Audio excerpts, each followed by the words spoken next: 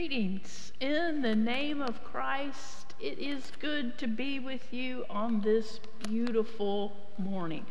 I have a note here to myself that I did not introduce myself to you last time. My name is Christy Garner. I'm pastor. Uh, I'm a buddy of Leo's, and while he is out taking and being with his family with the death of his mother, I get the privilege of coming and being with you. And today is even a special day on top of that. It is the first Sunday in Lent. And believe it or not, Lent means spring. Hmm. even with the cold snap. But what that really means for us is it's that new growth that comes as we journey to the cross, but also grow as disciples. And that's what we're going to be talking about today. And I am so glad to be here with you to journey along with you. So we're going to start with the call to worship. I'm going to with. Thank you. Thank you very much. Please join me in the call to worship. Welcome to Lenten worship. Colors shift, marking this sacred time.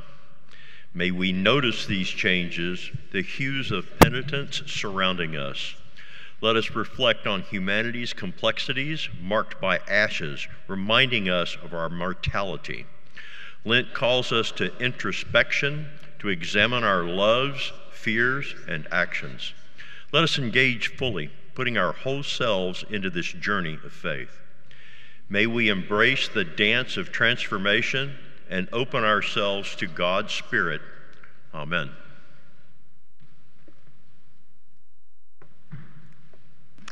Good morning, Bear Creek. Today's opening hymn is number 73, O Worship the King, verses 1, 4, and 5.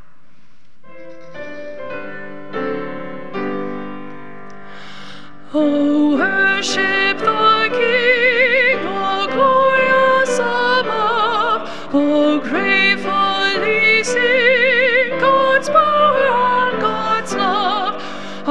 shield and defender, the ancient of days, pavilioned in splendor and girded with praise. Thy bountiful care, what tongue can recite? It breathes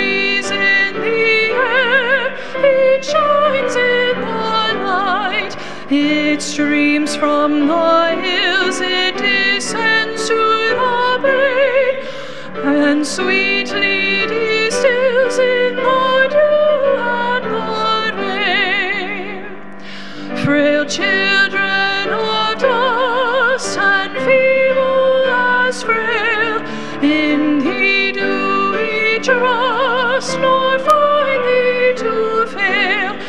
Thy mercies how tender, how firm to the end, our Maker, Defender, Redeemer, and Friend.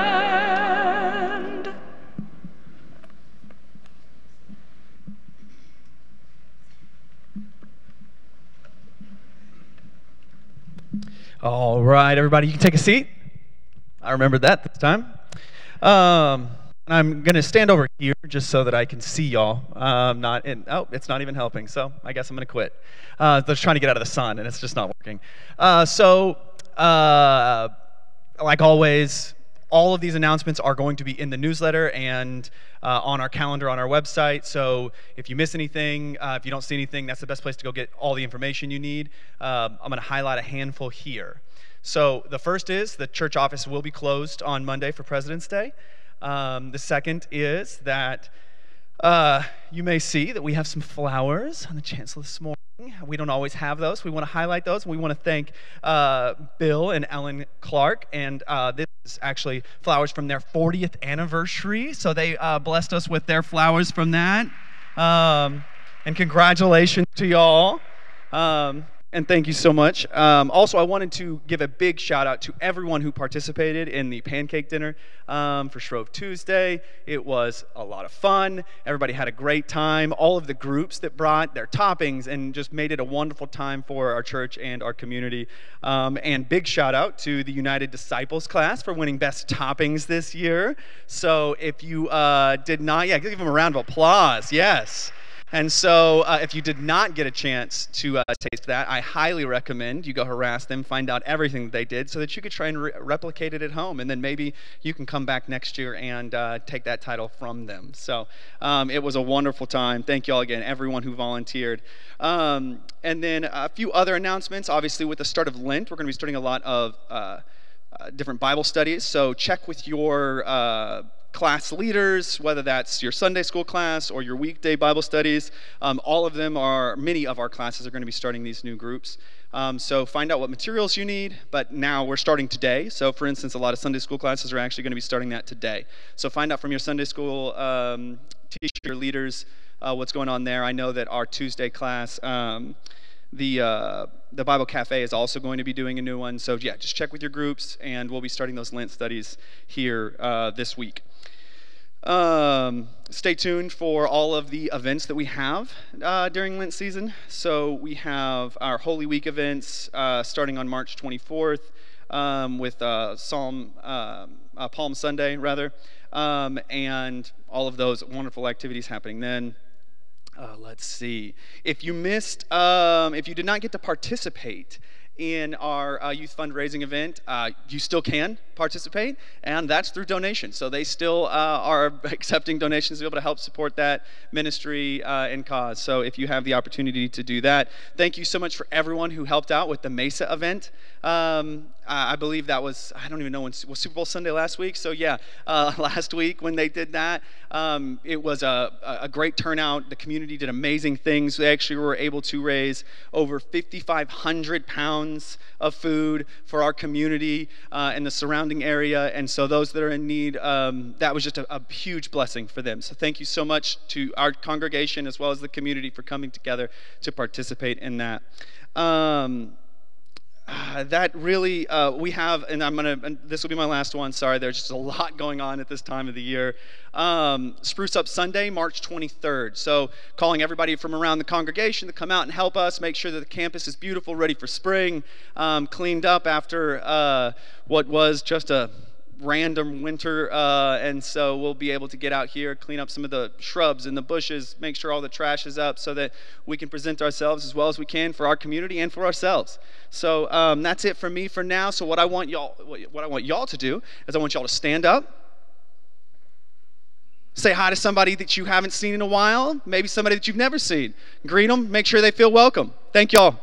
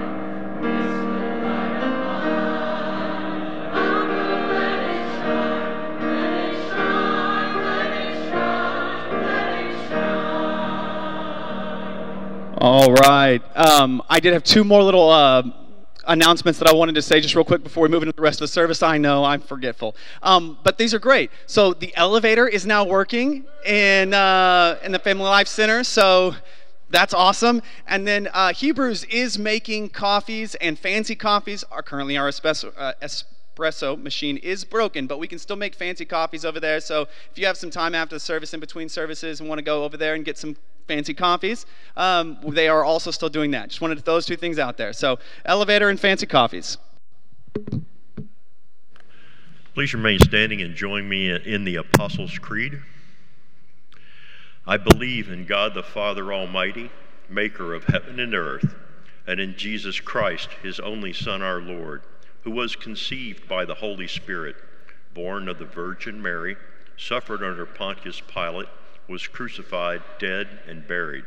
The third day he rose from the dead. He ascended into heaven and sitteth at the right hand of God the Father Almighty.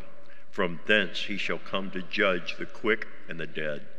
I believe in the Holy Spirit, the holy universal church, the communion of saints, the forgiveness of sins, the resurrection of the body, and life everlasting.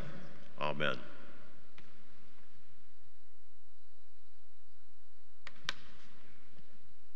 It's prayer time at Bear Creek. May we corporately pray. Oh, please be seated. I'm sorry. May we corporately pray for all those listed in the prayer pages. And now hear the prayers of the people.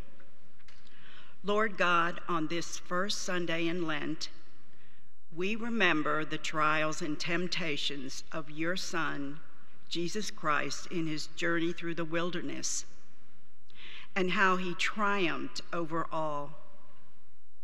In our prayers, we think of the difficult journeys in life encountered by so many people in the world. We pray that in their different times of need, they may find discernment to see their way ahead and strength to overcome whatever problems they face. We pray that faith may be deepened in this period of Lent and all may walk in the light of the Lord. We pray for the church, of which we are members, and thank you for the light it provides for our journeys ahead. We pray for those who lead us in worship and for all those who enable others to know that light in their lives. We pray for each other that we may each respond to the challenges that the time of Lent presents to us.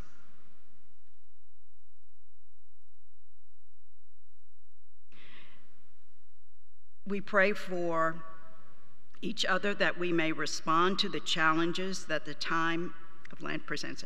Help us to be able to look to, at ourselves and to recognize our failings, our inadequacies, and the need for your presence in our journey of life. We pray for the family of the church that we may experience a sense of belonging to you and each other. Bind us together, Lord as a family so that we can travel along life's journey, helping and supporting one another, overcoming together all the trials and temptations that confront us daily. Today, we remember especially that you turn our darkness into light. In your light shall we see light. In Jesus Christ we pray, and when we may we all pray the Lord's Prayer together. Our Father, who art in heaven, hallowed be thy name. Thy kingdom come, thy will be done on earth as it is in heaven. Give us this day our daily bread, and forgive us our trespasses, as we forgive those who trespass against us. And lead us not into temptation, but deliver us from evil. For thine is the kingdom, and the power, and the glory Amen. I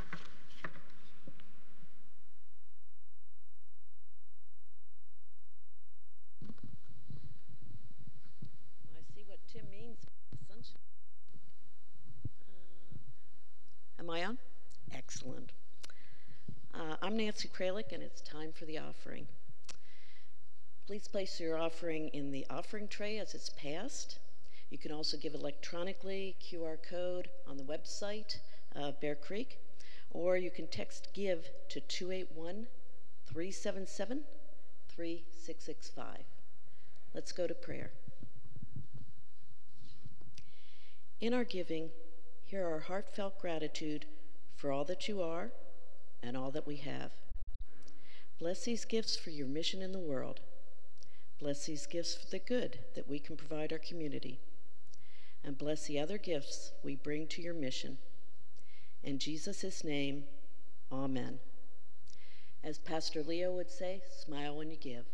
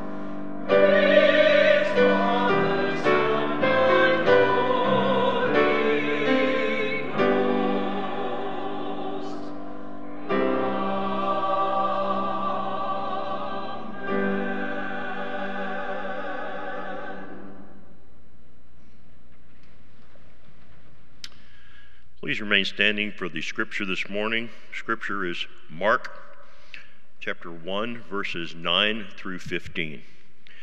In those days, Jesus came from Nazareth of Galilee and was baptized by John in the Jordan. And just as he was coming up out of the water, he saw the heavens torn apart and the Spirit descending like a dove on him. And a voice came from heaven You are my Son, beloved.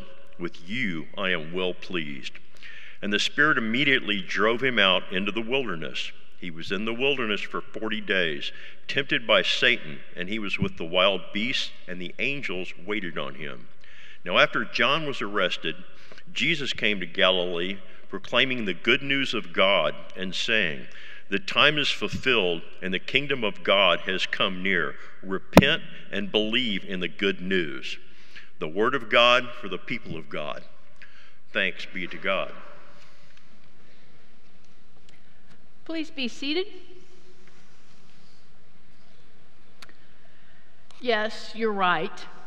And if you were paying attention a couple of weeks ago when I preached, it's almost not quite the same passage. As a lectionary preacher, this happens every once in a while but it does remind me of the seminary student, the brand new one who just graduated from seminary. He got to his first appointment, preached his first sermon love God, love neighbor. All went well. The congregation was amazed. The next week, he stood up and preached his second sermon love God, love neighbor. The congregation got a little restless and that he preached the same thing.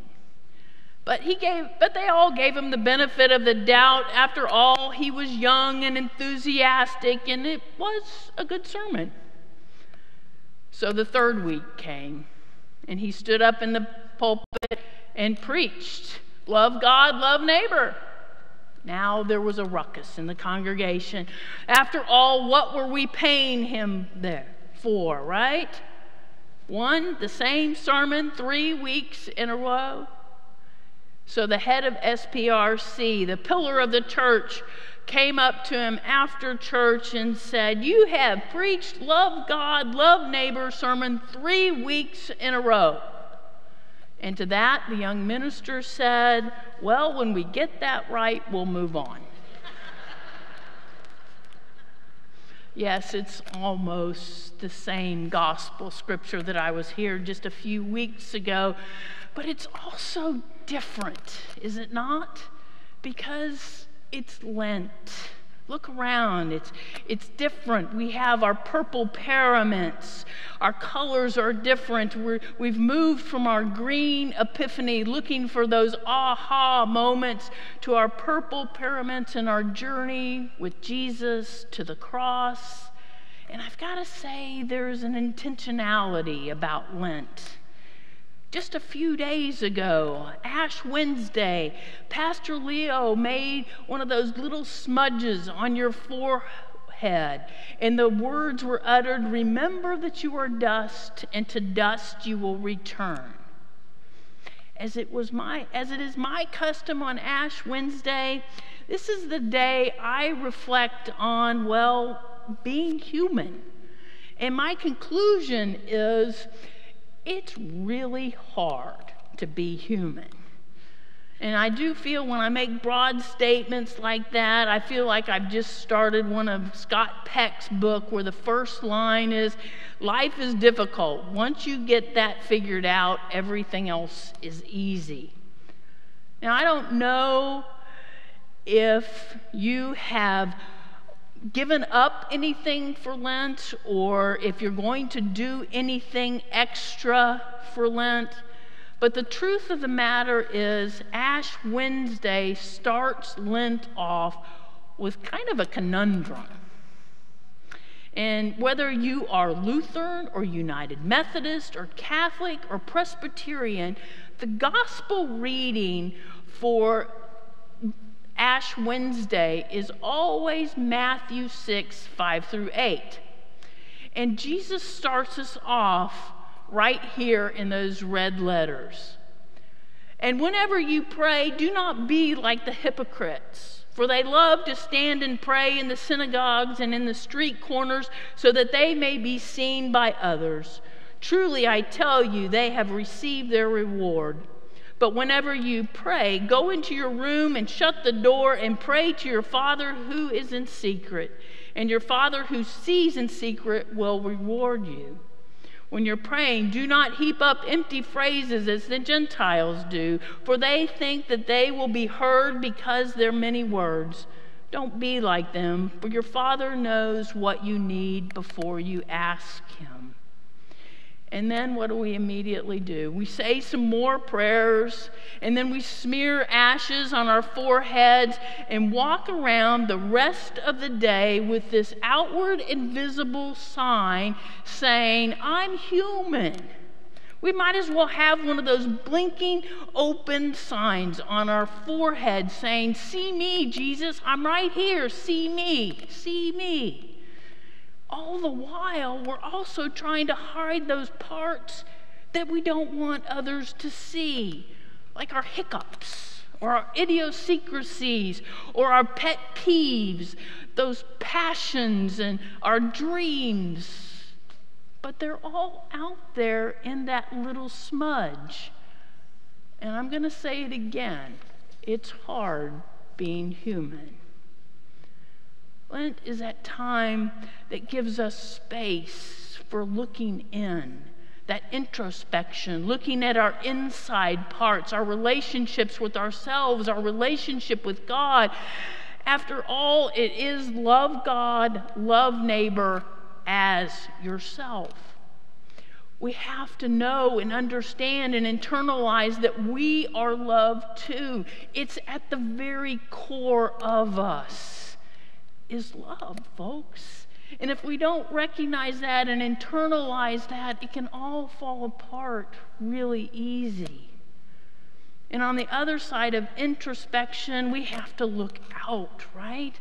At the relationships of, well, just about everything else in the world our families, our friends, our work, our coworkers, school, food, drink, shopping, TV. Maybe we need to look at how we spend our time in general, how we live out in the world. All of these and more are we where we get the ideas of what we need to do for Lent or what we need to give up for Lent these little tokens of, of things that we do, the relationships of our eyes tell us what we need to give up, possibly, or what we need to take on additionally. Okay, now, I'm fairly certain that none of you put dancing on your I give up dancing for Lent list. Okay? I'm fairly certain. So, oh dear. All right, you're going to sing with me, okay? Put your right arm in, take your right arm out, put your right arm in and shake it all about. Turn your hokey pokey and you turn yourself about. That's what it's all about. Okay, come on. Put your left arm in, take your left arm out. Put your left arm in and you shake it all about. Do the hokey pokey and you turn yourself about. That's what it's all about. Okay, all right. You put your right foot in, you take your right foot out. You put your left foot in, you take your left foot out. But here's the thing, folks what's the end?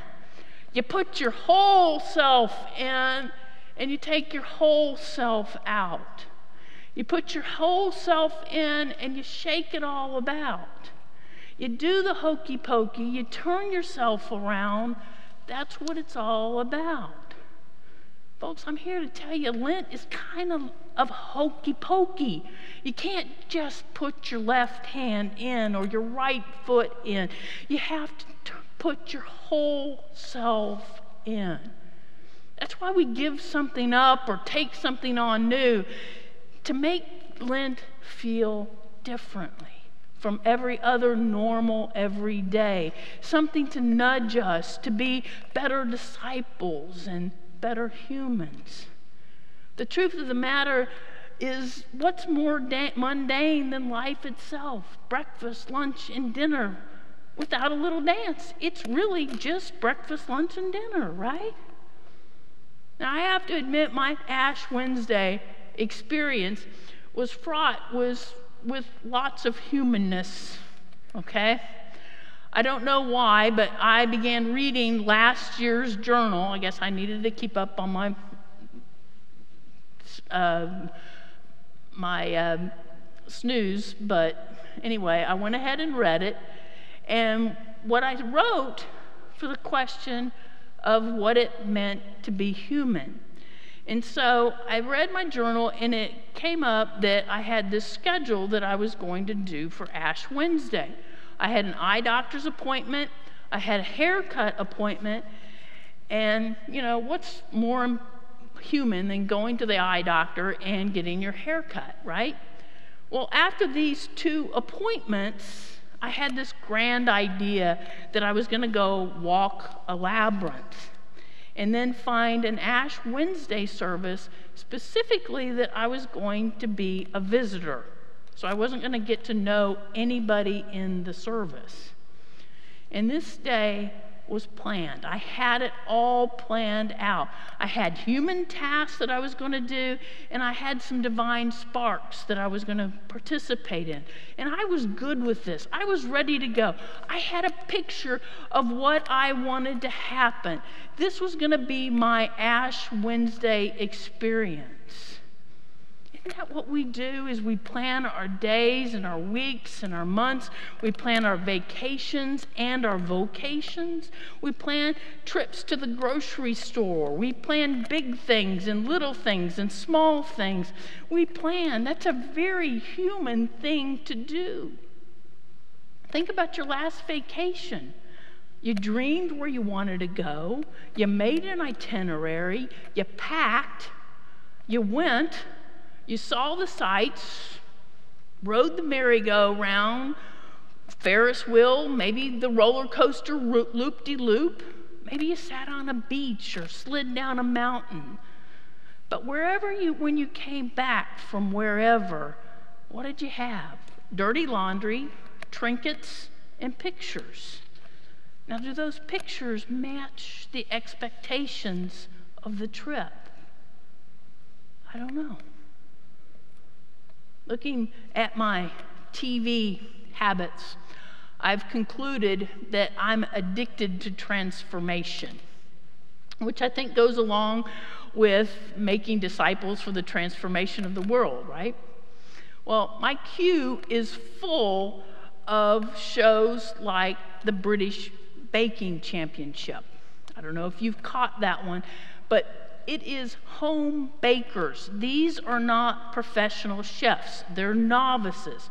And they have three challenges to go through. And the first one, they get to practice. And they have a picture of their mind of what their cake or their pastry is to look at. And they give it to the cue card people, and they're supposed to draw it. I can tell you that sometimes their plan A doesn't look like the cue card. But then it gets worse. The second challenge is a technical challenge. This is to make what the judges not only want them to make, but it has to look like the judges that's the technical. And they're given very few directions. And they get judged that it looks exactly like the judges. I feel their pain. but not only baking shows, there's the home improvement shows. I love the home improvement. I love to see the transformation of probably a structure that should be torn down, made into a beautiful living space. You too can have a brand new context in 30 minutes, right?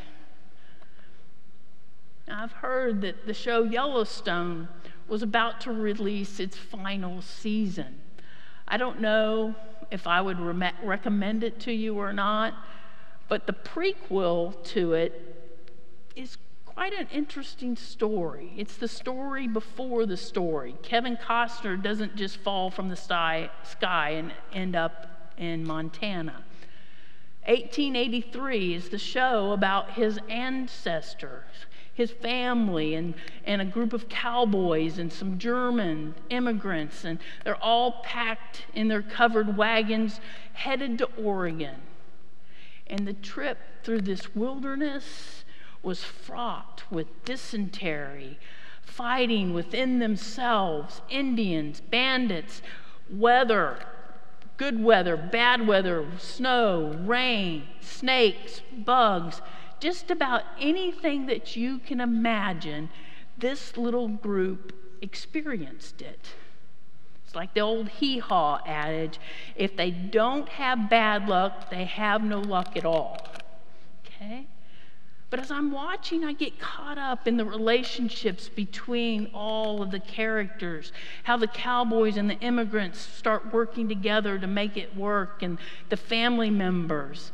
And what comes to mind was the singer and songwriter Dido's lyrics No love without freedom, no freedom without love. Because it's this freedom to take on an adventure into the wilderness, not just from themselves, but for their generations to come. Because in about episode number seven or so, the mother and the daughter are having this conversation about what the dreams are. The daughter asks, Mom, what do you dream about? And she says, A roof with the four of us under it. You see, we have these pictures and plans in our minds and what they're to look like. And so often I say, as a pastor, and something that I have to remind myself often, is that release is the hardest love to practice. Say that again. Release is the hardest love to practice. Folks, we have to let go of the outcome. Release can help us recenter when we're anxious. We can recenter in who we are, and we can recenter into whose we are. And we recenter in love. Real quick, I'm going to say that detaching from the outcome doesn't mean that we're not invested or care about the outcome.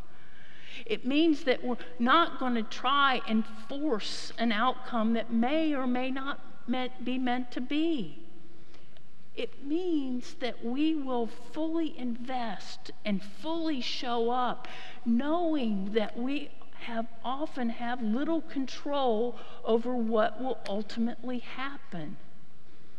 Here's the paradox to this is that when we're able to let go and release the outcome, we feel freer to show up as our authentic self.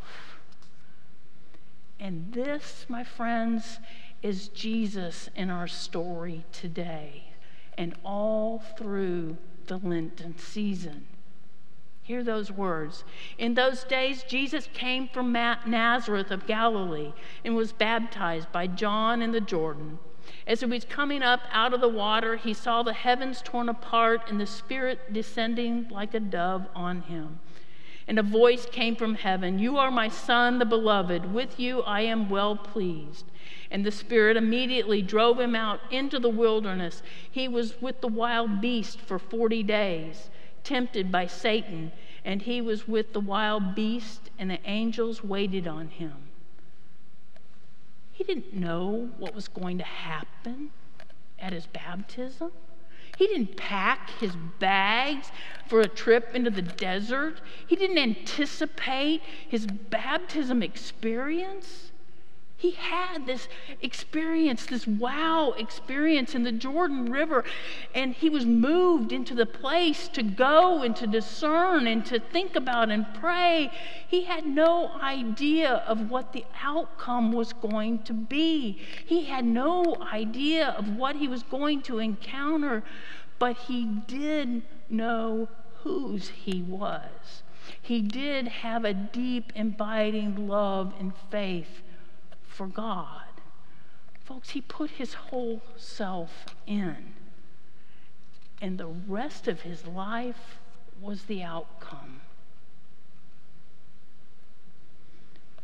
When I pray or meditate or center myself, if I have preconceived ideas of what I should, I should feel calm, I should be centered, I should be closer to God, it hampers my experience.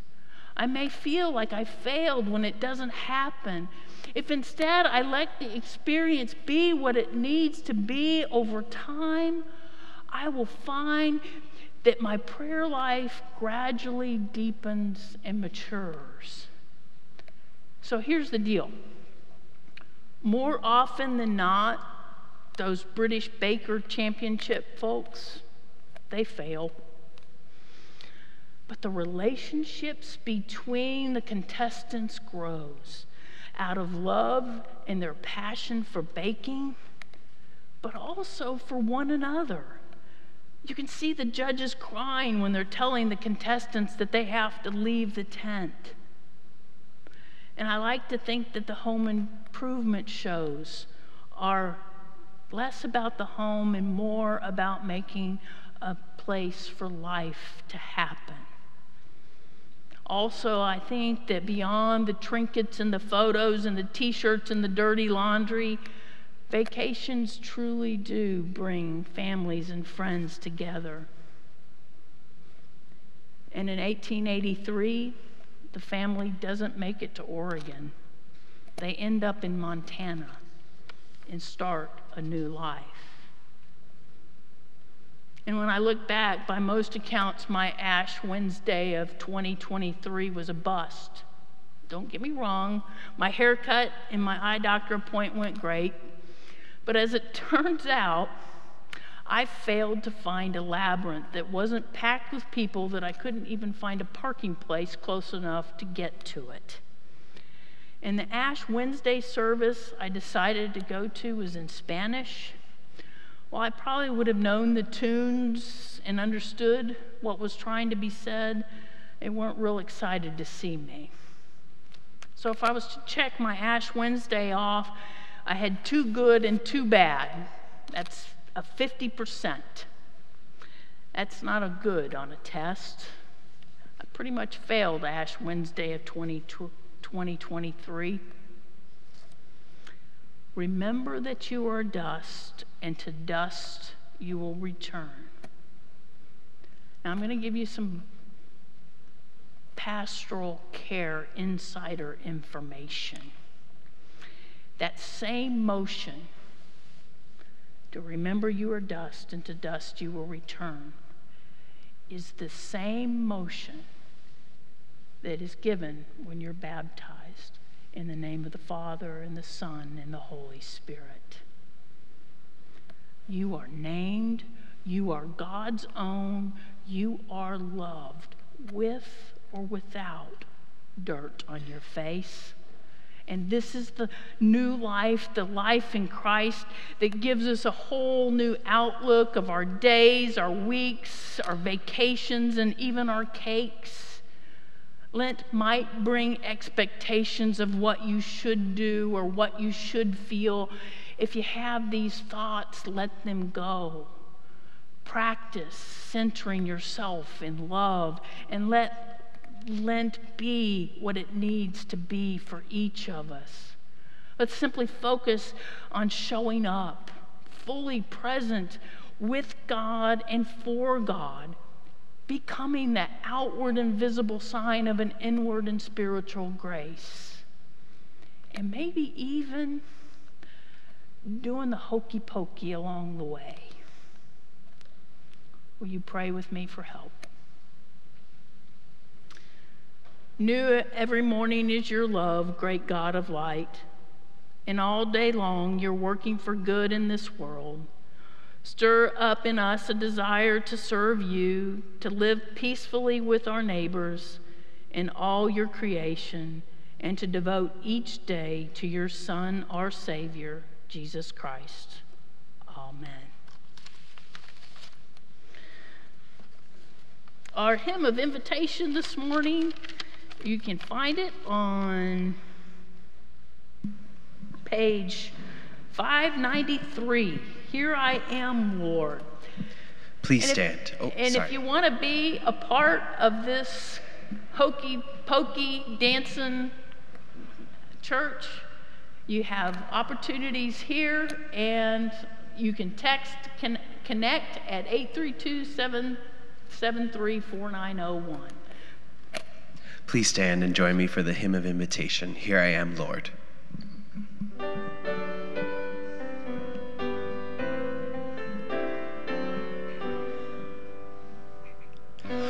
I, the Lord of sea and sky, I have heard my people cry. All who dwell in dark and sin, my hand will save. I who made the stars of night, I will make the darkness bright. Who will bear my light to them? Whom shall I send? Here I am, Lord. Is it I, Lord? I have heard you calling in the night. I will go, Lord, if you lead me. I will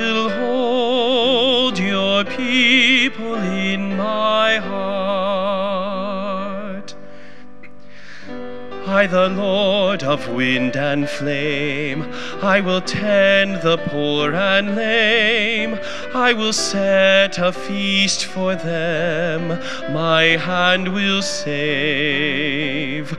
Finest bread I will provide, till their hearts be satisfied. I will give my life to them. Whom shall I send? Here I am, Lord. Is it I, Lord? I have heard you calling in the night. I will go, Lord, if you lead me. I will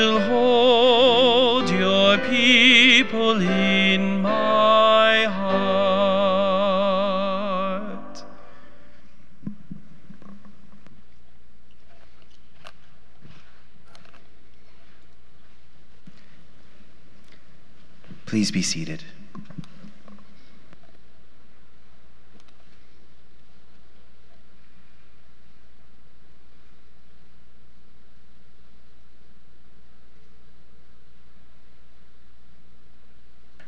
At this time, let us reflect on this postlude played by Marva.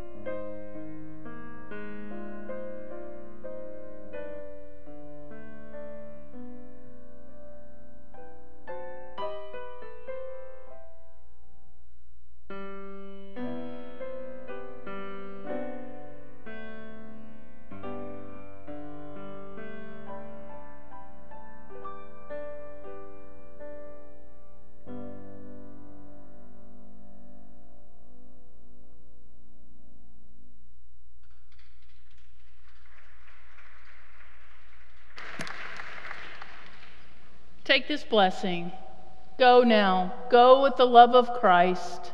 May it lead you, maybe beside you to befriend you, maybe behind you to support you. But most of all, may the love of Christ be in you, that you share it with all the world. Amen and amen. Please stand.